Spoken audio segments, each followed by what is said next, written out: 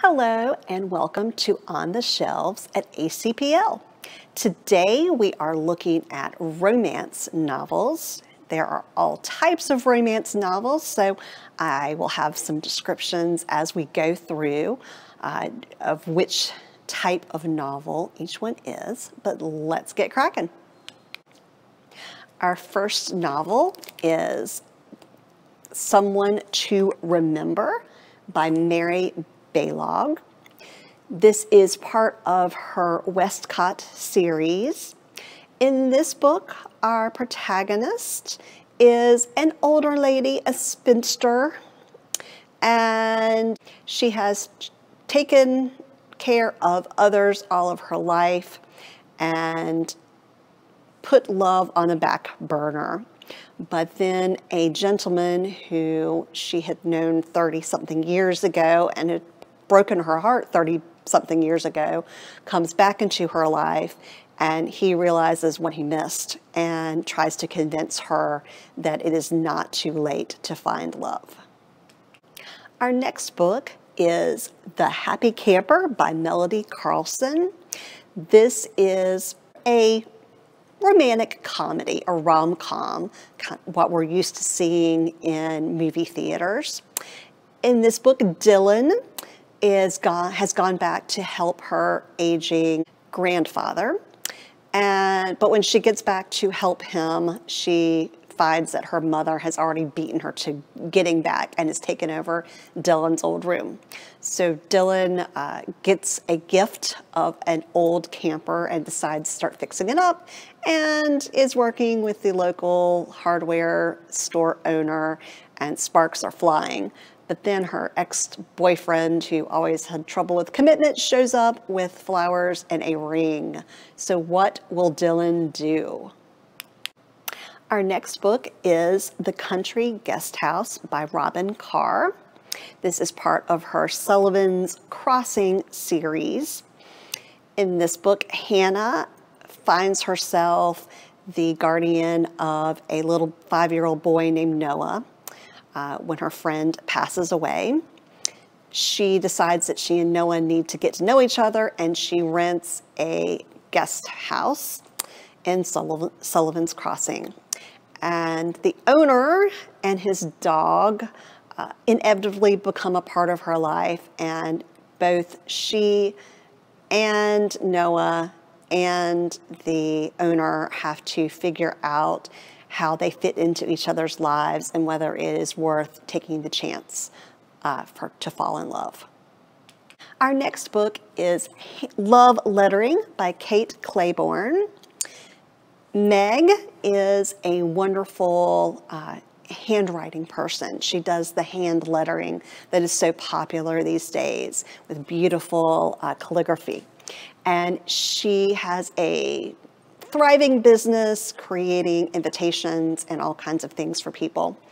And she is asked to do the wedding programs for a young couple, meets them, and Meg also has an uncanny ability to see when people see insights into people's lives. And she looks at this couple and says, they are not going to make it.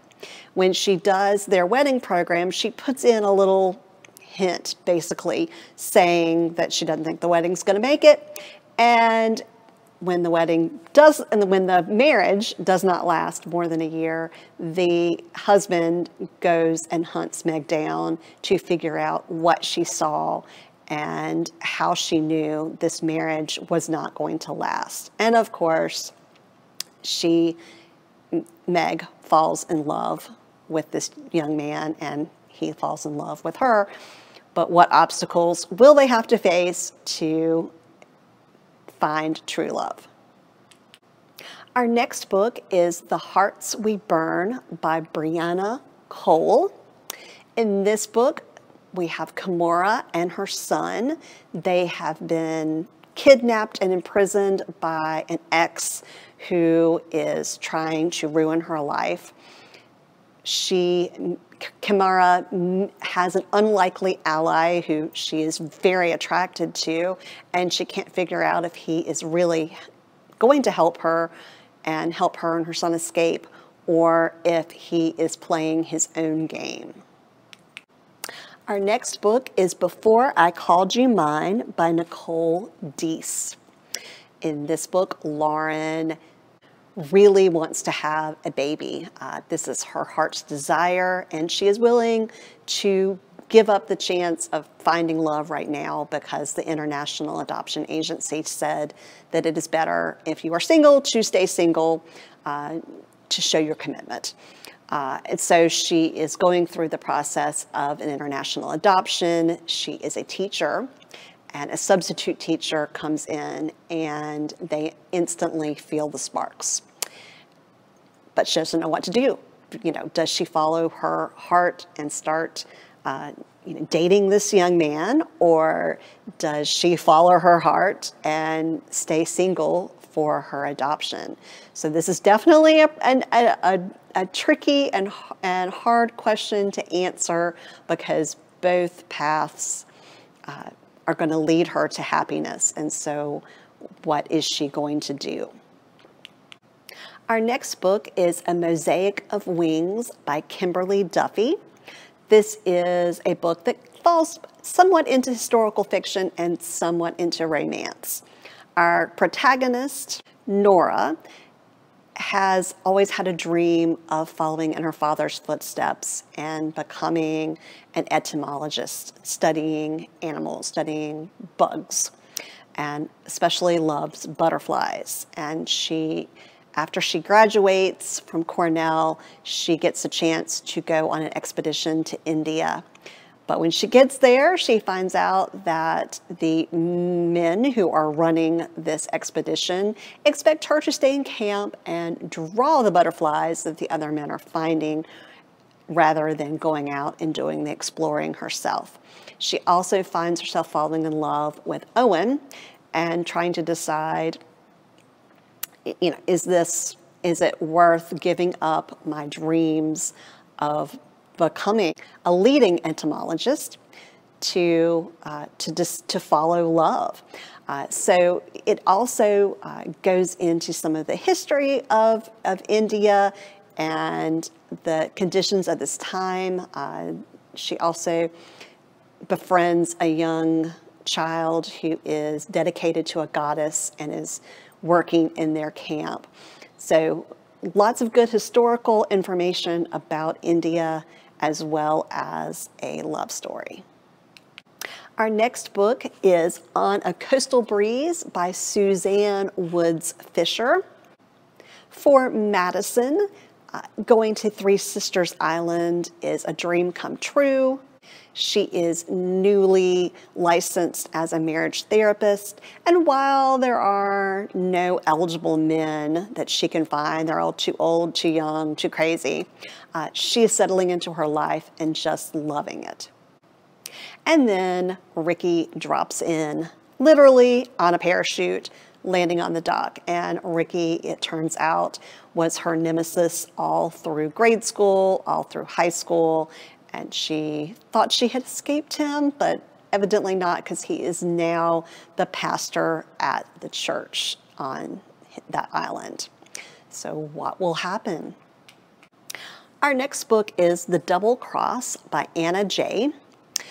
In this book, we have a young gentleman named Chase who finds it really easy to find someone to share his bed, but maybe not someone who can be his queen and share his life. And then he meets Selah and realizes that she might be the one, but then he messes up and he has to make the decision do I confess and hope that she forgives me, or do I keep going and hope that she never finds out? Our next book is Not Quite Over You by Susan Mallery. It is part of the Happily Incorporated series. In this book, Drew sees that he has a second chance with Silver, whom he had been in love with years ago when they were in high school. And Silver isn't quite sure what she wants to do with this. Uh, she thinks that maybe if she can just sleep with Drew it might get him out of her blood and she can move on uh, because her heart really was broken uh, by him. But she also has a secret that she did not share with him at the time. And, you know, now she has to decide does she share her secret? Does she give him a chance? Our next story is Sisters by Choice, by, also by Susan Mallery. And in this story, we have three sisters who are all struggling in different ways uh, to figure out how to get out of the rut that their life has found them in and to pursue love in different ways. So, can they support each other and find ways for each of the sisters to find their happiness? Our next book is Fearless by Fern Michaels. In this story, Anna meets Ryan on a cruise as she is re entering the dating world, and he seems to be too good to be true. So they decide they're going to get their families together. And at first, everything seems to be going great, and Anna accepts Ryan's proposal of marriage. But then, as the months pass, Anna starts to think that Ryan and his family may not be what they presented themselves to be. And she has to find strength within herself to figure out what's going on and to fight to keep her family safe and happy. Our next book is Country Strong by Linda Lael Miller. This is part of her country series. Uh, in this book, Cord is a true cowboy, loves horses, and then all of a sudden a woman comes back in who is a spitting image of the girl who broke his heart years ago. And he wants to help her no matter what. Uh, Shaylee comes in to the ranch and has a chance to start a therapeutic writing school. And even though Cord was the man who broke her heart many, many years ago because he was in, dating her best friend. Uh, she wants to give this therapeutic writing school a chance, and she wants to give Cord a chance. Could she be, could he be the one, even though he was the one who got away? Our next book is The Tourist Attraction by Sarah Morgenthaler. Zoe is so excited because her bucket list was to go to, to Alaska. And here she is in Alaska, and she's sitting in a sillily named restaurant called the Tourist Trap. The trap is run by a man named Graham, who is a little bit on the grumpy side, but, you know, and he has a rule that no dating of the tourists, but he keeps looking over at this cute girl in the corner who blushes every time he looks. So this is definitely a romantic comedy, uh, something that is lighthearted and very enjoyable for the summer. Our next book is Unyielding Hope. It is by Janette Okie and it's part of her When Hope Calls series. This is a companion to the Hallmark series. In this book, Lillian has lost her parents and her younger sister to uh, tuberculosis when she was very young. She has now lived with her adoptive parents for many years, and her adoptive mother has now passed away. Her adoptive father has decided that he wants to go back to his native Wales. And so she is really at loose ends, not quite sure what she is going to do. But then a lawyer appears and says that not only has she inherited something from her birth parents, but her younger sister, who she thought had passed away from tuberculosis, in fact went to a sanatorium and was cured. Lillian goes out to find Grace, her younger sister, and she's not quite sure if the two of them are going to be able to connect. Uh, but when she gets there, she finds out that Grace is full of life and full of plans. And Lillian has to decide if she is going to go along and see what happens if she uh, lets loose and has a wonderful time with her younger sister. Our next book is Forever Hidden by Tracie Peterson. Tracie is a, a religious romance writer. And in this book, Haven has been living with her sisters at her grandfather's uh, home in Alaska. She is realizing that their days of being happy at their grandfather's uh, homestead are going to end very soon because her grandfather is very ill. And she's trying to figure out how she's going to continue to support her younger sisters and how she can keep them all together. Meanwhile, a man named John shows up at her grandfather's house and he has promised his grandfather that he would deliver a box to uh, Haven's grandfather. And so he shows up, and the two of them, Haven and John, uh, fall in love and are, but are still trying to figure out how they can go forward with the secrets that their families have been keeping. Our next book is Soul's Survivor by Navi Robins. This is also romantic suspense. Uh, in this book, Daniel finds himself uh, working with a lovely UN crisis counselor named Ayana. Uh, Daniel's wife and family were murdered uh, several years ago by an overlord in Africa. Ayani is trying to build a case against him, so the two of them are working together on this, and they're also trying to ignore the attraction between them. Uh, many obstacles are thrown in their way, especially when it comes to actually convicting this, uh, this warlord. And Ayana and Daniel realize they must defeat uh, this warlord at any cost.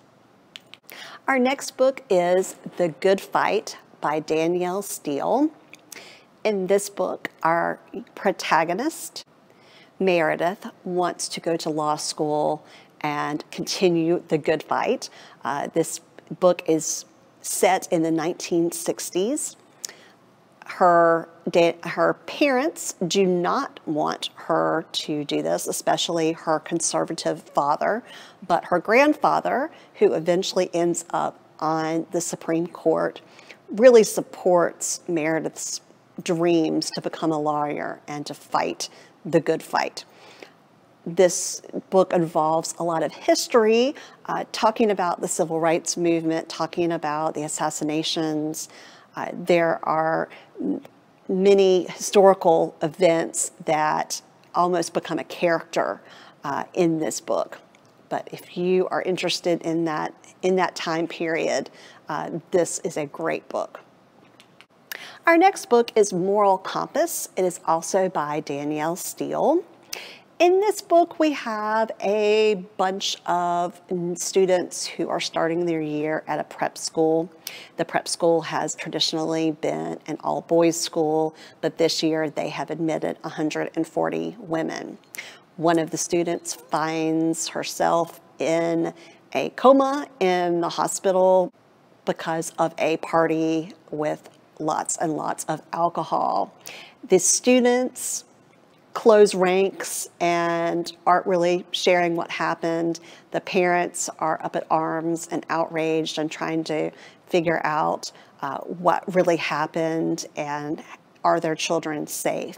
And eventually, students have to decide on their moral compass. Are they going to protect their classmates or are they going to make sure that justice is served? Our next book is Spy by Danielle Steel. This book features Alexandra, who is rich and could live a life of leisure, but instead she decides to become a spy during World War II.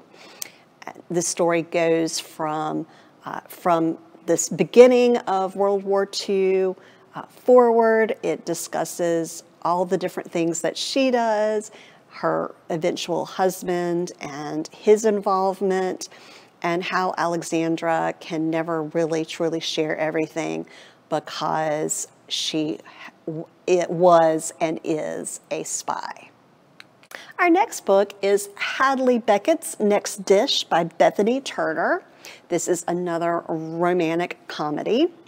Uh, in this story, we have Maxwell, who is a celebrity chef who has a bit of a temper and is definitely a, more of a grouchy person.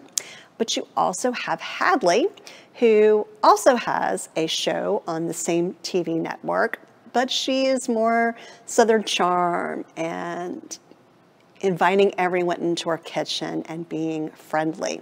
Well, Maxwell has a historic, horrible uh, meltdown on his show, and his show is canceled. So his only way to get back into the television chef field is to work with Hadley on her show. And so sparks will fly, but so will knives. And it's fun to read about uh, two different people figuring out a way uh, towards each other. Our next book is Stay With Me by Becky Wade. This is another religious romance. Genevieve has built a successful career as a Bible teacher, inspirational leader, but then she gets a letter saying that she needs to come home to her family in the Blue Ridge Mountains because of a secret that might be revealed. So she goes back to do some damage control, but realizes that it's actually her secret that it might bring down uh, her very well made facade. She meets Sam, who reluctantly rents her a cottage because her issues are a little too close to his own issues and but he does end up renting the cottage to her and they start to work through some of their problems and may find uh, love with each other. Our last romance of the day is Ghosted by Rosie Walsh. Sarah and Eddie meet and fall in love. Instant, spend every moment of the a week together. But then Eddie is getting ready to go on a long planned vacation. he says, I'll call you from the airport. But he never calls. And basically, she is ghosted and she has no idea why. All of her friends say, forget him, move on. But Sarah just can't do it. And then she finds out why he ghosted her. And it's because they did not share everything from their past. And there is a past that they share. And that past might really affect their ability to be in love and to be in a relationship. So, those are all of our romances for today. As usual, if you saw something you liked and you want to put it on hold, please go to our website, click on catalog, enter your information, and you can put it on hold yourself or you can call any of our branches and we will put it on hold for you. I hope you enjoyed this episode of On the Shelves at ACPL, and we'll see you next time.